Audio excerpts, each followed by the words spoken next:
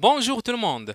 Donc après avoir parlé du produit scalaire, là on va un petit peu parler euh, du produit vectoriel.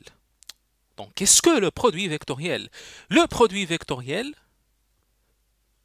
le produit vectoriel de deux vecteurs A et B et et, et, et, et, et, et, et quoi?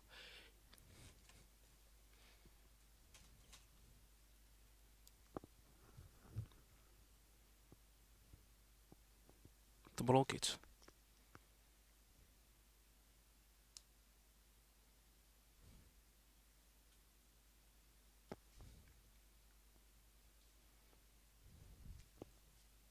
Et le vecteur donc, quand on note A, on utilise ce symbole. Bon, ce symbole-là, A vectoriel B, qui est égal à tout simplement le module de A multiplié par le module de B multiplié par sinus de l'angle entre A et B, qu'on peut appeler par exemple phi, suivant un certain vecteur unitaire. Avec U, c'est pas juste un certain, mais un vecteur unitaire bien précis qu'on va, qu'on va détailler. L'une des choses les plus importantes concernant le produit vectoriel, c'est ce vecteur unitaire. Donc ça nous donne, ça nous donne le sens, ça nous donne la direction du produit vectoriel. Avec U est un vecteur unitaire. Donc unitaire, c'est-à-dire que la norme de ce vecteur est égale à 1, est un vecteur unitaire. Et ce qui est important, c'est qu'il est perpendiculaire. Donc je vais écrire perpendiculaire au plan formé par A et B, mais son sens, le sens de U, est dirigé, dirigé euh, dans le sens et dirigé suivant, donc je vais dire suivant la règle du tir du tir bouchant.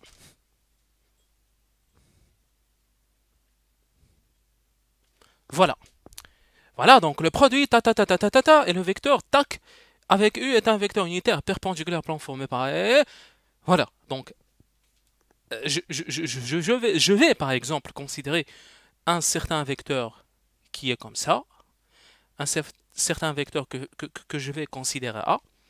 Donc, euh, sachez que ce vecteur, donc, il faut imaginer ça en perspective.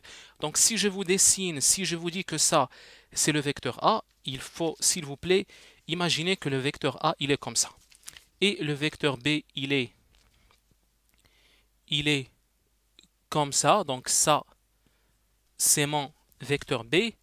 Et ce que vous voyez ici, donc cet angle-là, c'est tout simplement l'angle phi. OK Donc maintenant, U est un vecteur unitaire qui est perpendiculaire au plan formé par A et B.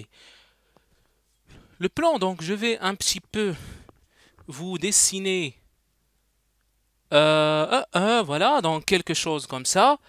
Donc d'abord, le vecteur unitaire, il est perpendiculaire au plan formé par A et B. Donc sa direction, elle est comme ça. Maintenant, le sens de ce vecteur unitaire U. Eh bien, le sens, il suffit juste d'utiliser la, règle du tire-bouchon. Là, je fais A vectoriel B. Donc, pour utiliser la règle du tire-bouchon, on a une chose très intéressante à faire, très importante. C'est pas seulement très intéressante, mais très importante.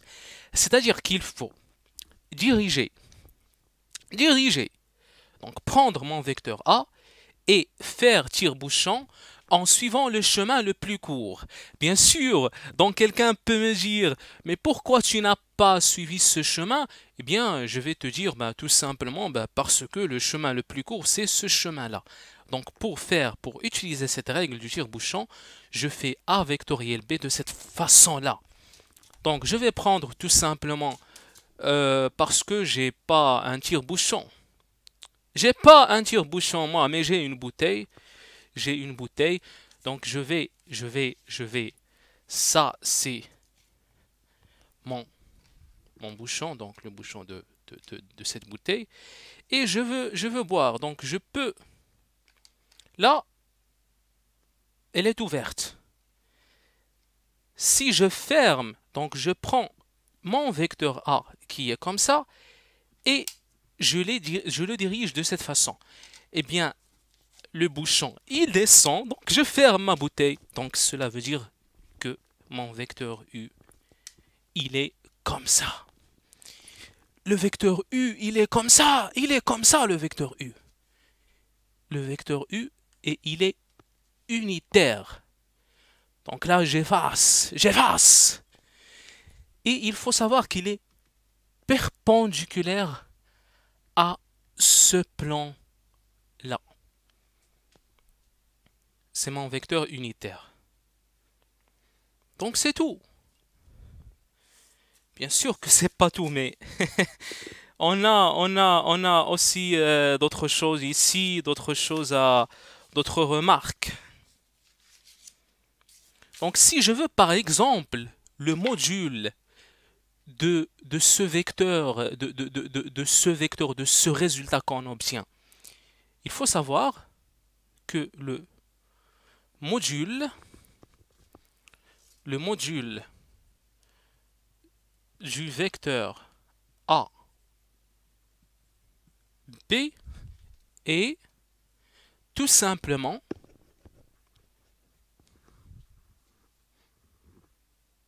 et, et oui, oui, oui, donc c'est tout simplement ce parallé, euh, euh, parallélogramme. Est-ce que c'est c'est comme ça qu'on dit? Oui, oui, oui, oui, oui, oui. Parallélogramme, oui. C'est tout simplement ce parallélogramme. C'est la surface de ce parallélogramme. Bon, on va, on va, bien sûr, bon, quand je parle d'un module, donc bien sûr, il faut qu'il soit positif. Parce qu'on a dit qu'un module est toujours positif.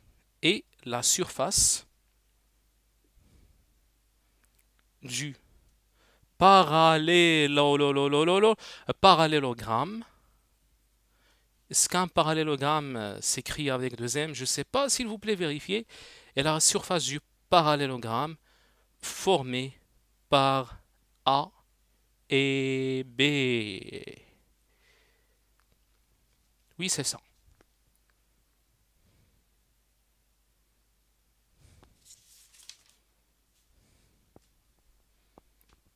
C'est-à-dire que si vous voulez A vectoriel B module, eh bien c'est le module de A multiplié par le module de B sinus phi, donc il faut prendre la valeur absolue parce qu'il se peut dans des cas, il se peut que sinus phi soit négatif, donc il faut prendre la valeur absolue.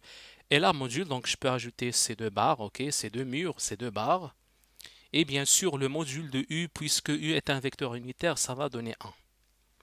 Donc ça c'est une remarque. Voilà. Donc si par exemple sinus phi est positif, je peux écrire A B sinus phi comme ça. Et considérez-moi par exemple ce plan, si je considère ça A et B, maintenant considérez-moi que A et B se trouvent sur euh, le plan de ce tableau blanc. Ça c'est phi. OK je fais cette projection, j'obtiens ce triangle rectangle. Sinus phi, c'est exactement, donc si j'appelle ça h, je vais dire que l'hypoténuse, c'est le module de A, ce qui implique que h égale à A sinus phi. Donc vous pouvez dire que le module, c'est ce h-là multiplié par le module de B. Par le module de B.